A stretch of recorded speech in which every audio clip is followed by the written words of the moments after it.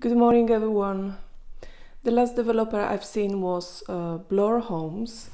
I've seen two houses from them, one which is sold in what we could call a standard finish, and the other one has all the bells and whistles. So you'll get to see more or less what you're gonna get for your money.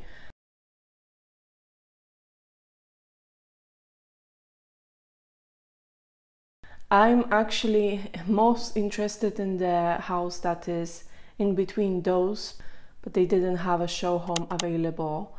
And um, these houses are being sold from the plan, so you, in most cases, aren't able to see the house before you buy it. You can see the plot, you can see the plan, but you will not see the finished house. That also means those houses will be cheaper than what they would cost if you would buy them from a show home.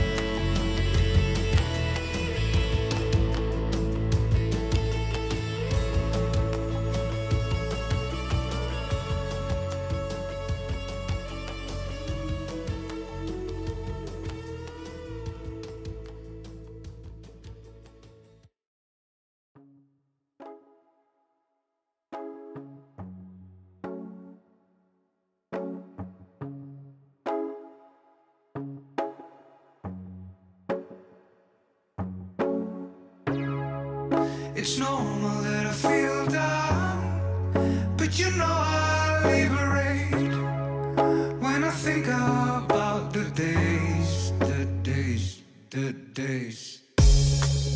It's normal that I feel down, but you know I liberate when I think about the days, the days, the days. It's normal.